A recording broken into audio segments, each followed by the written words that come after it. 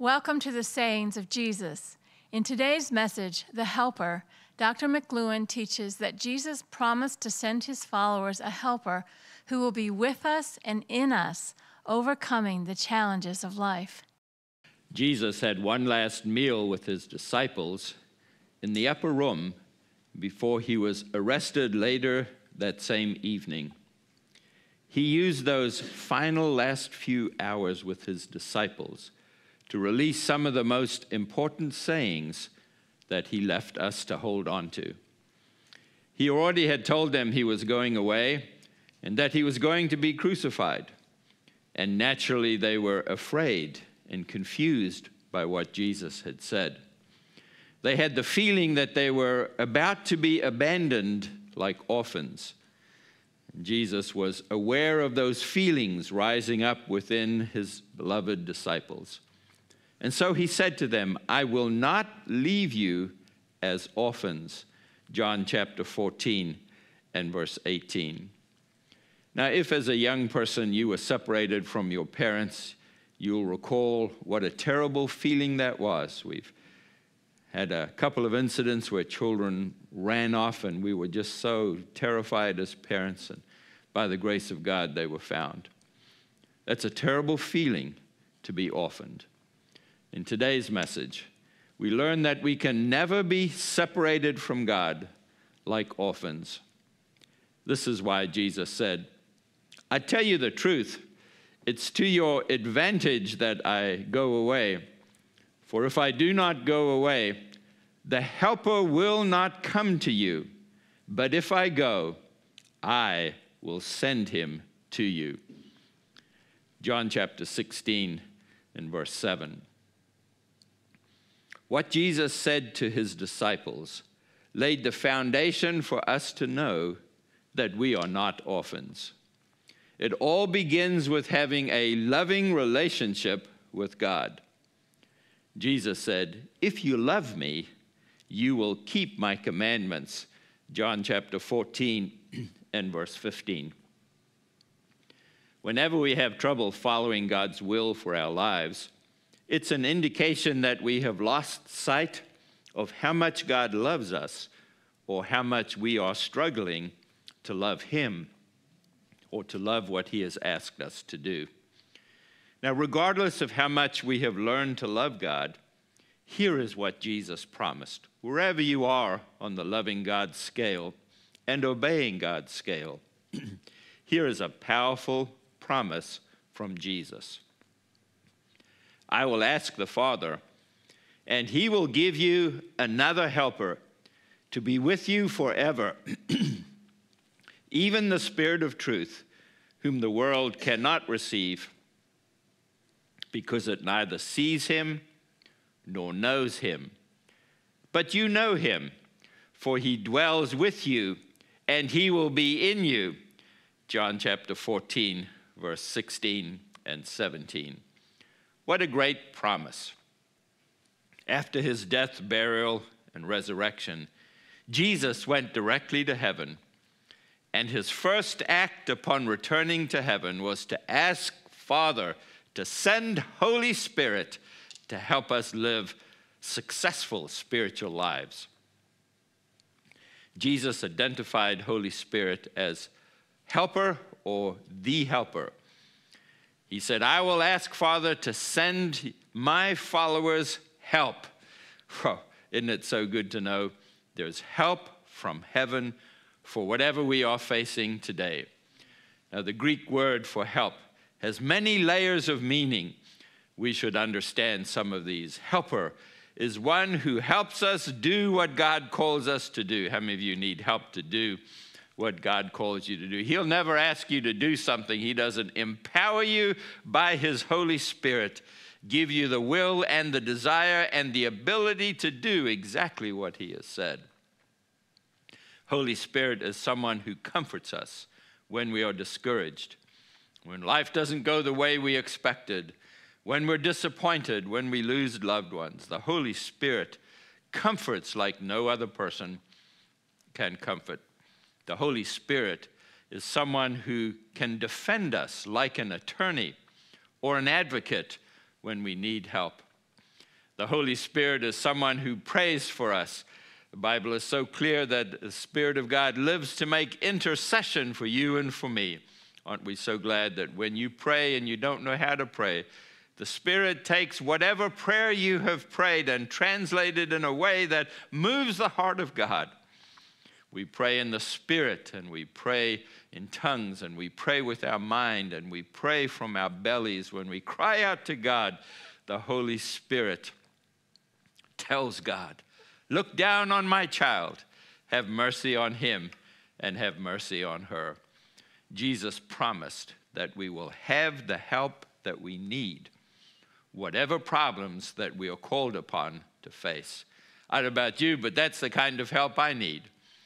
This is the kind of help that is available to every follower of Jesus. But there's more. Jesus used a word that is a very important and carefully chosen word to describe the helper that he wants us to understand. I will ask the Father, Jesus said, and he will give you another helper. John chapter 14 and verse 16. And we're looking at the word another. The word Jesus chose for another is very specific. It means another of exactly the same kind. Now, how many of you had a problem or a trusted friend and you always called your friend and your friend came and he or she knew exactly what to do to solve the problems? But one time you uh, had a need and your person, your friend said, Look, I'm sorry, I can't come this time, but I have a friend and I can send my friend and my friend will be able to help you. Don't worry, he's as good as I am. And then you found out that that person didn't know exactly what your other friend knew, and that friend couldn't help you in the particular situation that you are facing. You can never experience that because he was not the same as, he was similar, but not the same. And Jesus said, I'm going to send you another who is as good as me. He knows as much as I know. He can do as much as I can do. That's very good news. Then Jesus went on to say, The helper is actually better than me because of my physical limitations. I can only help the people who are in front of me and the friends of people who are in front of me. Even if Jesus prayed long distance, he prayed for the person who came to make the appeal. Jesus said, I'm next to you, but the helper will be in you. The helper will be in many places and any place at the same time. The helper I'm sending can be everywhere with anyone at the very same moment. I wish someone had made this as clear to me as I'm making it to you or trying to make it to you right now. For years, I used to say, if only I could have lived in the times of Jesus and the apostles. Do you ever feel that way? You ever thought, I'd love to have seen Jesus and the miracles that he did? I'd love to watch Jesus feed the 5,000. I'd love to watch Jesus still the storms. well, I think most people have some way felt that, and, and I used to think that until I understood that the Holy Spirit does through me what Jesus did with that home, same Holy Spirit in the presence of people who lived in the first century. Well, here it is. The Holy Spirit is in you, and He is powerful enough to help you and to me to do everything that Jesus did. I used to think that was poetry. Jesus said, The works I do, you can do, and even greater. I said, That's just not possible because I didn't understand and I didn't believe that the Holy Spirit wanted to do through me just what He did through Jesus. And I'm pulling you to come into this powerful understanding. You can do what Jesus did because you have access to the same power that Jesus had access to. He had access to the Holy Spirit, and He's given that Holy Spirit to you and to me. Jesus said, The Helper will be with you forever even the Spirit of truth, whom the world cannot receive because it neither sees him nor knows him. You know him, for he dwells with you, and he will be in you. John chapter 14, verse 16 and 17. Followers of Jesus have the Holy Spirit living inside of us. That is why Jesus could confidently say, I will not leave you as orphans. I will come to you. And in that day, you will know that I am in my Father, and you in me, and I in you. John chapter 14, verse 18 and 20. Then Jesus went on to say, Whoever keeps my commandments and keeps them, has my commandments and keeps them, it is he who loves me. And he who loves me will be loved by my Father, and I will love him, and I will manifest myself to him. That is, I will show myself to him. John chapter 14 and verse 21. Please don't let anyone try to deceive you with the idea that God cannot love you and cannot have a relationship with you. God created us to love us and to be in a growing relationship with Him, facing all the challenges that we face in life.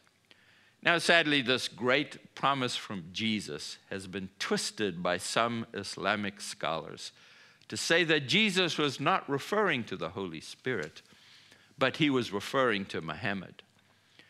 And many people overseas, when I meet them, say to me, We follow Jesus because Muhammad said, or Jesus said, that he would send Muhammad.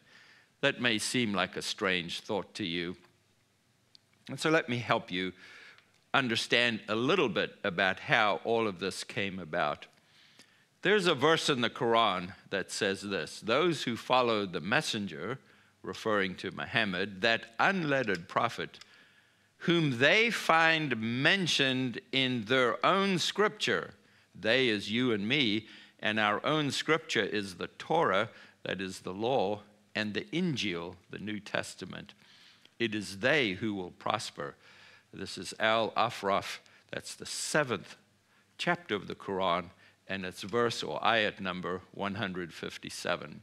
And so, 1400 years, Muslims have been looking through the Bible to try to find the place that might talk about Muhammad.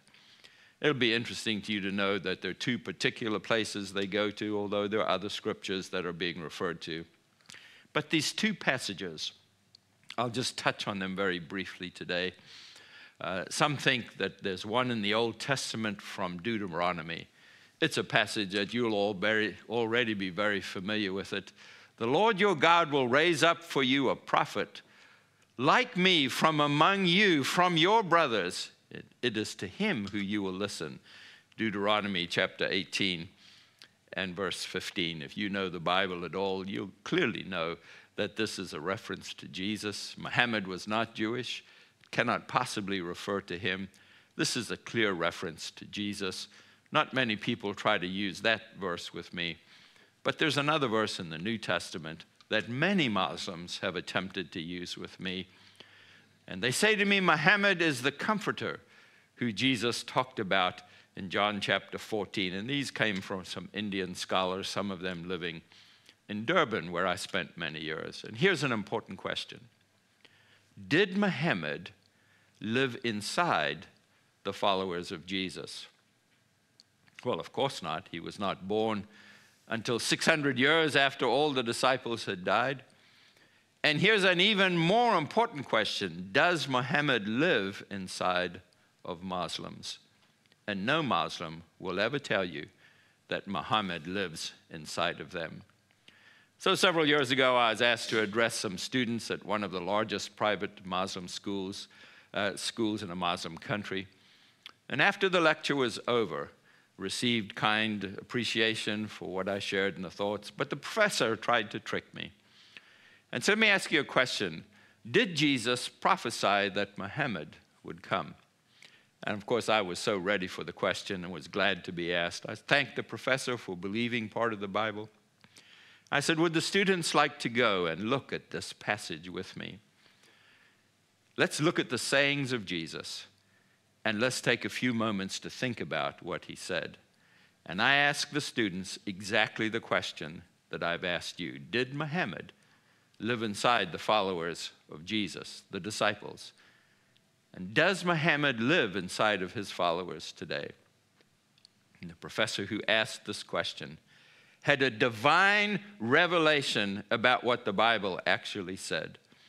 And she turned to the person who arranged for me to give the lecture and said these words Jesus could not possibly have been making a reference to Muhammad. Jesus could only have been speaking about the Spirit of God. And perhaps you were raised to believe that Jesus promised people that Muhammad would come. But like the professor who heard my lecture, your eyes have just been opened to see that this passage is not a reference to a prophet, but a reference to the Spirit of God. Now, Jesus warned that there would be a spirit that would keep people from receiving this truth. It is the spirit of the world. This is what Jesus said. The world cannot receive this truth because it neither sees him nor knows him. But you know him, for he dwells with you and will be in you. John chapter 14, verse 16 and 17. The spirit of the world blinds the eyes of people to see of whom Jesus spoke about in these verses we have looked at today. But like the professor who heard me speak, I open your eyes to see and to receive the truth that you have just heard. He who loves me will be loved by my Father, and I too will love him and show myself to him. John chapter 14 and verse 21. Ask Jesus to show himself to you.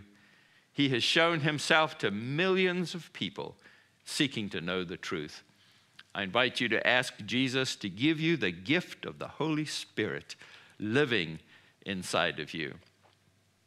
If you're already following Jesus, I invite you to believe that you can do all of the miracles Jesus did because the Spirit of Jesus that was in Jesus is living in you right now.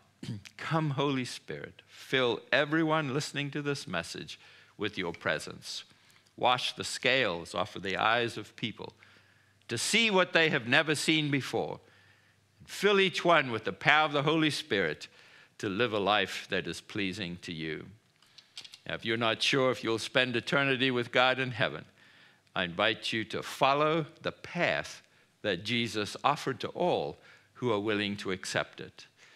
Accept that He knows the way, He knows the truth, and He knows life. He died for you in your place so that you can spend eternity with God in the presence of Him in heaven. Thank Jesus for dying for you on the cross. Ask Him to forgive you of your sins and to cleanse you from all things that separate you from God. If you just received Jesus as your Savior, write to me and tell me about your decision to follow Jesus. Next week, we'll continue learning from the sayings of Jesus. Father, we believe you have sent the Holy Spirit for us. Come and fill us now with your presence. Comfort and help us to live our lives for your glory. In Jesus' name, amen.